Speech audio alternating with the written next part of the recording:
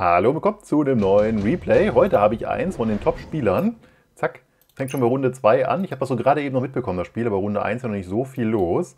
Äh, das sind jetzt Spieler, die beide weit über 400.000 Punkte haben. Also das sind zwei der besten Spieler, die in der Welt existieren. Ja? Äh, Schriftzeichen, die keiner lesen kann dabei direkt. Und die treten hier gegeneinander an. Wie gesagt, wir haben schon eine Runde. Sieht zwar aus, ob es weiter wäre, weil der da vorne schon einen Melting Point hat, aber es ist Runde 2. Ja? Also die fangen wirklich so ein bisschen hardcore an mit dicken Dingern. So, bevor es hier losgeht, aber erst nochmal Werbung. Und zwar wird das heutige Video wieder gesponsert von Instant Gaming, den Keyshop. Da kriegt ihr alles für alle möglichen Sachen, das heißt Konsole, Plattform, verschiedene, was ihr möchtet. Und da könnt ihr auch vor allem Steam Keys kaufen. Da gibt es die schönsten Dinge bei. Äh, was haben wir denn jetzt gerade? Company of Heroes wieder im Angebot, äh, Hogwarts gibt es da, das Sci-Fi, oder das ausgesprochen wird, na gut. Äh, ja, ich bin eh nicht so in den Spielen drin und ich dürfte nicht fragen, Warhammer das neue DLC, 24%. Auf jeden Fall habt ihr schöne Schnäppchen hier. Das Spiel zum Film oder andersrum, je nachdem, gibt es auch im Angebot. Hier kriegt ihr auf jeden Fall Keys, ne, wo ihr wirklich ganz, ganz gut Geld sparen könnt. Der ist auch begeistert offensichtlich. Ich kaufe meine Keys tatsächlich auch ehrlich selber selber, nicht nur, ich mit denen zusammenarbeite, weil die wirklich die guten Preise haben. Und äh, ja, einmal Werbung vom Sponsor. So, jetzt sind wir wieder im Spiel. Also, ähm, die haben jetzt diese Runde hier vorne einen Arcleg dazu gekauft und einen Melting Point, was halt sehr gigantisch ist. Ne? Aber er hatte hier vorne die, die Giant-Karte gehabt. Hat sich auch für die Missile-Karte entschieden, was ich sehr überraschend finde, wo man ja echt gute Sachen mit kaputt machen kann. Gegner hat mit Nachschub angefangen. Und jetzt geht es hier vorne, er hat auch einen neuen Rhino, das heißt, jetzt aus irgendeinem Grund hat er erwartet, dass da ein Rhino kommt diese Runde. Äh, anders wüsste ich nicht, warum er das jetzt gebaut haben soll. Vielleicht hat er gesagt, dass er damit tanken will gegen die Marksmen. Wir machen mal auf jeden Fall mal los. Und es ist auch so, dass das Ding unglaublich tanky ist. Ne? Mit 42.000 Leben kann der ja unendlich viele Schüsse einstecken. Ja? da muss er 40 Mal schießen. Und er hat sich jetzt für Stormcaller entschieden, weil er wahrscheinlich auch schon gedacht hat, dass da was Tankiges kommt. Ja, also Fangs kann man damit besiegen, Adler kann man damit besiegen, ähm, Arclights kann man damit besiegen. Und natürlich auch dicke Dinger. Ja? Normalerweise hätte ich jetzt, also normalerweise würde man auch nicht einen Melting Point erwarten, sondern eher sowas wie äh, Steelballs zu diesem Zeitpunkt. Aber wie gesagt, der ist ja sehr tanky. Also der wird jetzt wirklich jede Menge Schaden einstecken und austeilen. Das kann sicher auch funktionieren. Schauen wir uns das mal an, das Ganze. Ja, und hat ihn jetzt hier perfekt gekontert. Zack, tot. hat er sehr gut geraten, muss man sagen. Der war ja in der ersten Runde offensichtlich noch nicht auf dem Feld, weil er ja null Schaden, null alles hatte. Also das hat sich jetzt gut gelohnt. Hier sieht man auch wieder hier die ganzen Schüsse einsteckt, sogar von der Artillerie. Ne? Und man muss auch sagen, wenn der überleben sollte, sind das halt 400 Schaden an dem Gegner. Das kann schon viel ausmachen. Ich weiß nicht, wie viele Runden ich mit nur irgendwie ne, unter 100 Leben überlebt habe. Also 400 frühen Schaden, das sollte man nicht unterschätzen. Ja, das ist alles weggetankt und immer noch auf dem Feld. Ne? Den meisten Damage gedealt. Und kann jetzt hier immer noch ein paar Schüsse wegtanken. Mal gucken, ob er das auch schafft. Artillerie ist allerdings ein Problem. Die macht halt unglaublich viele Schäden an dem. Schießt aber zurück, die Artli. Die kriegt aber nicht den Mustang, oder? Ne, die kriegt ihn nicht. die schießen links, rechts davon. Zwei Salben für den einen Crawler. Ach, das kostet ihm jetzt natürlich hier bitter, bitter böse, die 400 Punkte. Wie gesagt, das ist echt nice, wenn der überlebt. Oh, er überlebt das, er überlebt das. Nee. 400 wäre Schaden, wäre echt nice gewesen für den Spieler. Ja, also war eine knappe Tüte offensichtlich. Und jetzt hat man aber das Problem, dass man Melting Point hat. Also so meine Spielerfahrung ist bisher, ähm, dass alles, was ihr länger als eine Runde auf dem Feld habt, vom Gegner irgendwie gekontert wird. Und wenn euer Melting Point gekontert wird, dann werden halt 400 Punkte gekontert. Ja, also 400 äh, Geldpunkte. Oft noch plus eben die 200 fürs Freischalten oder was immer gekostet hat. Ne? Also da ist das sehr unangenehm jetzt für ihn da oben, dass er da einen Melting Point stehen hat. Und der ist auch noch nicht super tanky, weil er kein Level Up hat. Also jetzt hat er sich beim zweiten geholt sehr interessanter Call, weil eben, wie gesagt, ich gerade beschrieben habe, der wahrscheinlich jetzt äh, eine Konter aufs Feld bringt für den. Hat sich aber direkt für den zweiten entschieden. Äh, wahrscheinlich wirklich in der Hoffnung, dass sie all den ganzen Schaden wegtanken. Äh, was ich gerade gegen die Artillerie hier ein sehr spannendes Unterfangen finde. Man sieht auch, dass er das auch spannend findet. Er kauft sich direkt noch eine Arti. Und dem weiß er zwar noch nichts, aber er weiß zumindest von dem da. Und er hat sich offensichtlich die Arti geholt, stellt auch rechts hin, um den damit zu kontern. Ne? Also er sieht das auch als Counter dazu. Ähm, interessanter Call. Hat jetzt hier Upgrades vergeben hier unten, ne? so Beacon. Einheiten verkaufen. Also er hat sich jetzt hier den Rhino verkauft, weil ich einen sehr guten Move fand. Weil er würde nur weggesniped, damit der auflevelt. Ne? Warum das Geld dann nicht anders verwenden und dem Gegner weniger XP geben. Das hat er sehr schön gemacht, denke ich mal. Und hat jetzt hier einen Beacon, wahrscheinlich hier vorne, um die strafen zu lassen nach links. Ne? Damit die Adler von dem Gegner daneben schießt und die immer wieder Schüsse rausbringen. Wenn die jetzt so da reinlaufen, tut es sich ja weh. Genau, geht dann nach links hoch.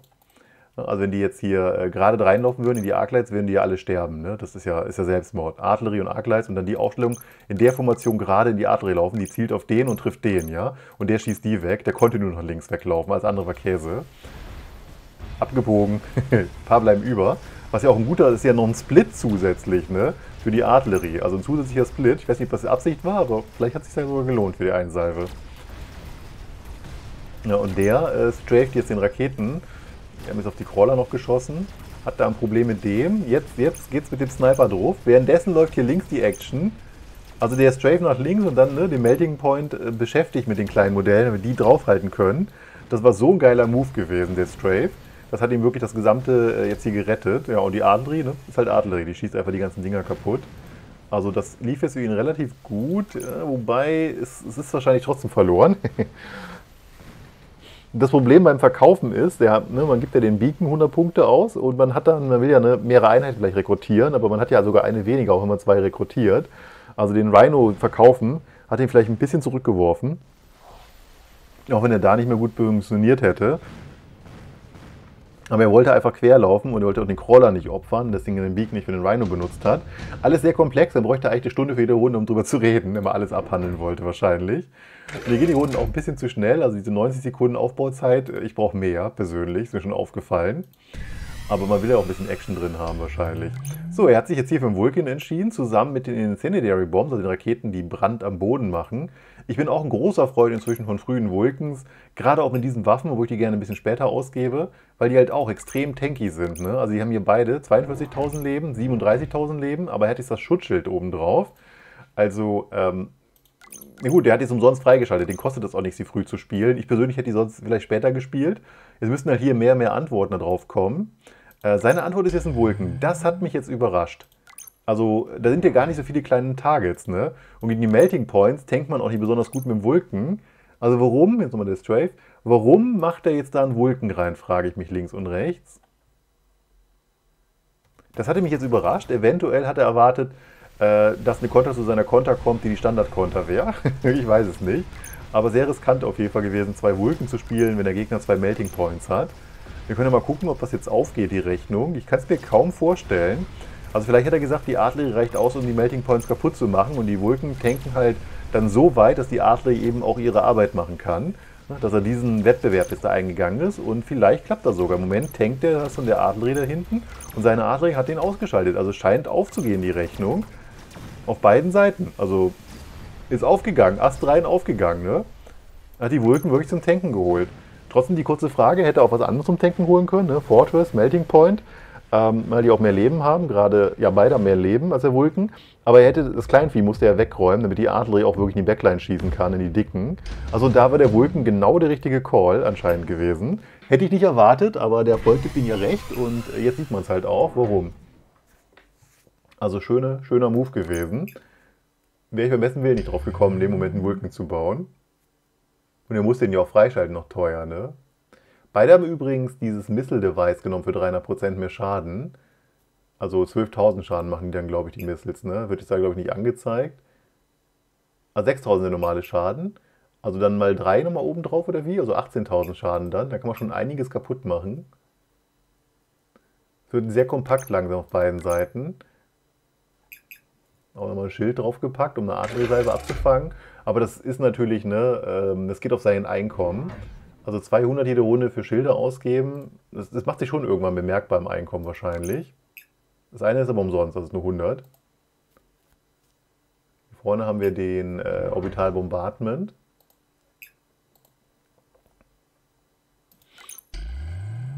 Hat hier unten den äh, Mustang verkauft. Man hat wohl keine Bedeutung mehr dafür da gesehen.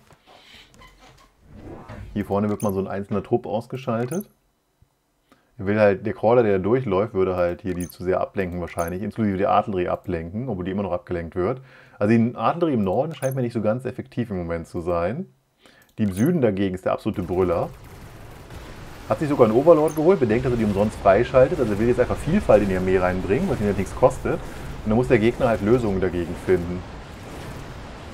Hat sich jetzt hier für Brandraketen entschieden in der Artillerie oder wo kommt das Feuer her? Aus dem links kommt das, ne? Aus dem kommt das raus. Also er will den Boden abbrennen, wo die Dinger drin stehen. Was hier auch sehr effektiv sein kann, ne? weil man dann, ne? die haben ja viel Leben und dann so viel Flächenschaden. Ja, und das geht auch erst, wobei das nicht durch das Feuer gestorben ist, aber ne, die Masse, die jetzt hier vorne hat, das könnte jetzt aufgehen. Das ist ein bisschen knapp. ja, diese Runde lief nicht gut für den Süden. Aber er hat noch so ein Luftschiff und es gibt, glaube ich, keine einzige Luftabwehr, außer den Fangs da hinten. Und da ist natürlich die Frage, ob die Fangs wirklich zum Schießen kommen. Die stehen so nah am Vulcan dran, dass er die wahrscheinlich gleichzeitig auslöscht. Also es wird wieder an den Süden gehen, die Runde, denke ich mal.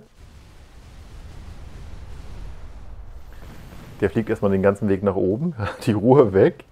Die Artillerie räumt es vielleicht alleine im Süden weg. Das sind zwei Batterien, die da stehen, Stormcaller. Ja, der gewinnt das auch alleine, der braucht seinen Overload gar nicht. Also Süden hat wieder eine Runde gewonnen. Da läuft irgendwo ein einzelnes Vieh rum, ne? Da ist er? Nee, war tot.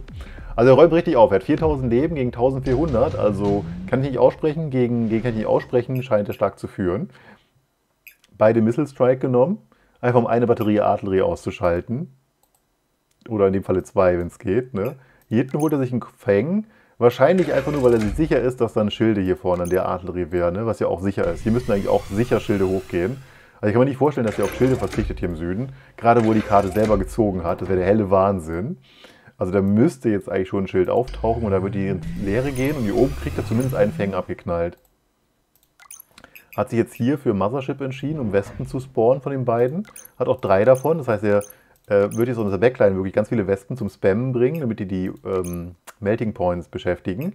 Er dagegen hat sich für EMS entschieden und Reichweite, möchte also alle Fähigkeiten ausmachen, die hier vorne kommen. Hier vorne sind tatsächlich aber keine Fähigkeiten. Ne? Er hat hier nichts an bei keiner Einheit. Und die da hinten trifft er ja nicht damit. Ne? Uh, das ist eine Sande-Seite. Ja, seine Batterien leben natürlich. Wobei, nein, guckt euch das an. Das hat funktioniert. Er hat mit der Raketensalve das Schild ausgeschaltet und dann hat er alle Adlerie danach bekommen. Da war irgendwie so eine hundertstel Sekunde Zeit zwischen oder so. Was für ein geiler Schuss. Also, dass er wirklich mit der Batterie die erste Salve das komplett runterholt, hätte ich jetzt auch nicht gedacht, dass das trifft. Aber er hat alle, er hat fast zwei ganze Batterien ausgeschaltet. Was natürlich extrem wichtig ist, ne? weil die braucht ihr, um diese dicken Dinger zu, runter zu grinden. Ähm, ja, das ist natürlich jetzt, die Runde wird jetzt für den Norden höchstwahrscheinlich gewonnen. Mal gucken. Es sind noch Wespen über. Es kommt immer darauf an, wann die spawnen. Ihr habt gesehen, der hat jetzt schon den Laser gelockt mit dem Overlord und dann kam die Wespe und deswegen ist der Overlord dann trotzdem gestorben. Hier kamen die Wespen halt, bevor der gelockt hat mit dem Overlord. Und das ist immer eine Wundertüte, weil die spawnen gleich nochmal mehr. Also der eine muss jetzt alle gleichzeitig töten. Das sieht jetzt nicht so aus. Okay, es klappt. Es leben auch noch zwei Wespen, die nicht leben und dann noch ein paar Fangs. Also er hat das jetzt im Norden gewonnen, denke ich. Aber dieses Spawn mitten im Kampf ist schon eine sehr starke Fähigkeit, gerade gegen die Melting Points. Also eine sehr knappe Runde gewesen. Aber eben auch nur knapp, weil er so schön die da bekommen hat, beide Batterien, ne? mit dem Schlag, der jetzt auf drei Runden Cooldown ist. Also die Salve, die da reingegangen ist, die erste. Ich habe das jetzt gar nicht richtig mitbekommen, wieso die so gut getroffen hatte. Das kann doch unmöglich die andere gewesen sein. Das kann doch, kann doch gar nicht. Die kommt doch gar nicht da hinten hin. Wie hat er das denn gemacht letzte Runde? Ich müsste nochmal zurückspulen. Ihr könnt das ja jetzt im Video machen. Aber wie er denn das Schild ausgeschaltet, wenn die Adri gar nicht da hinten hinkommt? War das so weit vorne, das Schild, dass sie doch noch getroffen hatte, als sie den anvisiert? Das, nee, das kommt vom Timing vorne und hinten nicht hin. Waren das die Vulkenraketen, die da vorne eingekracht sind und das ausgelöscht haben, das Schild? Also hier von beiden Seiten, vielleicht die Vulkanraketen sind da reingegangen. Oh, ich muss gleich mal wieder zurückspulen. Das kann man hier leider im Replay nicht.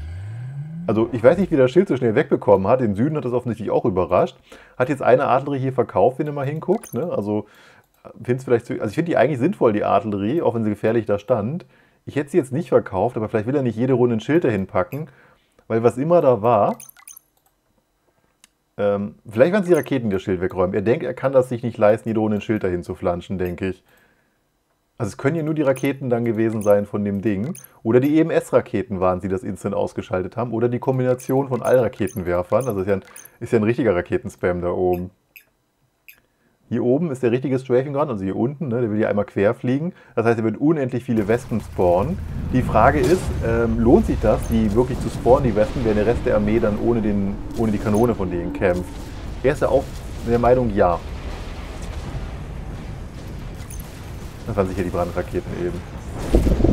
Turmbombe! Aber der straft halt wirklich mit seinen Schlachtschiffen hier einmal links über die Map drüber. Kriegt also nochmal da eine, eine Abteilung Wespen raus. Aber der Rest kämpft halt Unterzahl deshalb eine Zeit. Ne? Und die rechts hat er auch verloren, die Front deshalb. Aber er sagt sich wahrscheinlich, er will einen großen Wespenschirm haben. Weil das die Melting Points das einzige ist, was ihm halt den Kampf wieder gewinnt. Ja, er wird gleich noch eine zweite Salve Melting Points haben. Und entsprechend wird er sich hier dumm dämlich schießen, der Kamerad. Also er sollte das diese Runde dann gewonnen haben, oder? 1500 Leben. Ja, wenn die alle überleben, das sieht danach aus, dann hat das. Vier Stück ist 1600 Schaden. Also ich denke, er hat das gewonnen. Es kommt noch eine Debuff. Also die Strategie mit den Westen spawnen, also der Ult zu strafen, ist voll und ganz aufgegangen. War anscheinend ein hervorragender Move gewesen und damit hat er das auch gewonnen. Also was für ein Spiel, da war wirklich alles drin gewesen. Und ich spule jetzt gleich mal zurück und guck mal, wie zum Teufel er das Schild da eben ausgeschaltet hat. Also das, äh, der helle Wahnsinn. Das können nur die Raketen gewesen sein. Ich check das mal eben in meinem eigenen Replay sozusagen. Ja, das waren für zwei der besten Spieler der Welt derzeit. Mit sehr originellen Ideen, mit Strafen, mit Verkaufen, mit einfach alle, mit Verzögern. Also da ist wirklich alles bei gewesen ganz, ganz schön zum Angucken. Frühe Giants, äh, unten ne, späte Giants, kann man ja im Vergleich sagen. Dann das, wo den Vulcan der Move, äh, das er gespielt hat, nur zum Tanken im Grunde genommen. Ah, ganz herrlich zum Angucken. Ja, ich hoffe, ihr habt ein bisschen Spaß dabei. Ich bin weg für heute. Ciao, ciao.